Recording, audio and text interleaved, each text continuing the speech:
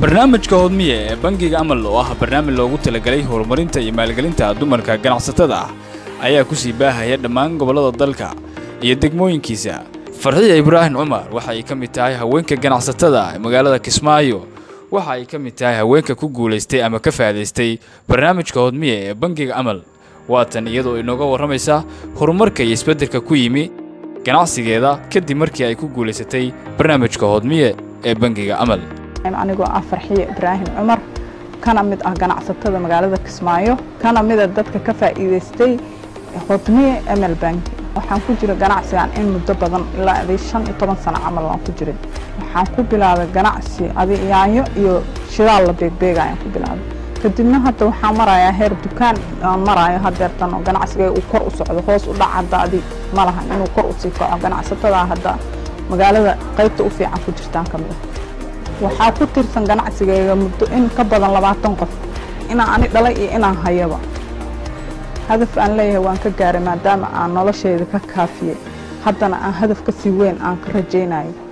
Rajo weyn aan ka leeyahay hadafkay waxaan aaminsanahay inuu amal ganacsigayga ay qayb weyn ka qaateen maadaama aan hadda dukaankii dukaan labaad ka garab furay. Ina kaalmaynayo iiga sii socod badan kii hore aan haystay awal. Halkani waa degmada dhaxar waxa uuna noqonayaa bangiga amal bangiga ugu horreeyey oo ka howlgala xarunna ka furta magaalada dhaxar waxa uu bangigu u gaarsiiyey dhammaan baahayaha adeeg ee bangiga ay u baahan yihiin bulshada ku dhaqan halkaas.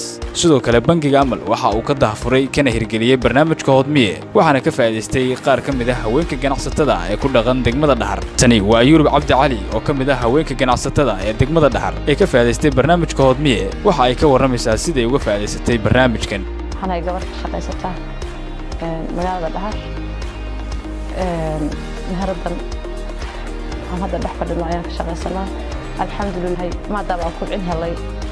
Oo wax faa'iideeyey maasha allah de wax aad u wanaagsan. Waana wax aan aad iyo aad. De wax noo soo kicisay wax noo soo kordhisay weeye marka maasha allah aad baan ugu faa'iidey faa'iidooyinka noocaas oo kale in haweenka loo faa'iideeyo. Maadaama haweenkii ay intaa shaqaynayaaninoo ilmihii iyo gurigii iyo reerkii mar kasta iyagu yihiin iyagu ay door muhiim ay ku leeyihiin bulshada dhexdeeda ay ku leeyihiin. Xalay mar kasta oo waxaanu aad iyo aad ugu faraxsannahay ama aad iyo aad aan u soo dhaweynayno inaanu helno kobcinta noocaas oo kale. Sidoo kale halkani waa degmada carmo waxa uu bangiga amal sidoo kale uu noqonayaa bangiga ugu horreeyey oo ka howlgala xarunna ka furta degmada carmo gaarsiiyeyna dhammaan adeegyada bangi ay u baahan yihiin bulshada ku dhaqan degmada carmo sidoo kale waxa uu bangiga amal uu ka dahafuray barnaamijka hodmiye oo ah barnaamij lagu maalgelinayo laguna dhiirigelinayo dumarka ganacsatada ah. Ikraan cumar oo ka mid ah dumarka ganacsatada ah ee ka faa'iidaystay barnaamijka hodmiye kuna sugan degmada carmo ayaa inooga warramaysaa siday uga faa'iidaysatay uguna faa'iiday barnaamijka hodmiye ee bangiga amal.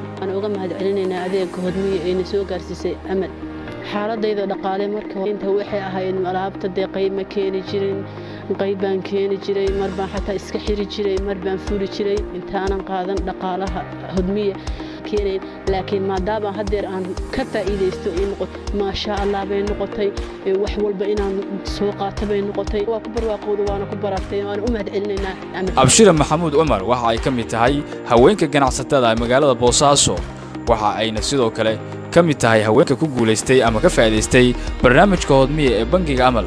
Waxa ay inooga warramaysaa siday uga faa'iidaysatay uguna faa'iiday barnaamijka hodmiye bismillaahi raxmaani raxiim magacaygu waxa weeye abshiro maxamuud cumar. Waxaan ahay ganacsato ka ganacsata dahabka oo degan suuqa boosaaso ee dahabka. Amal baa imaalgelisay maasha allah.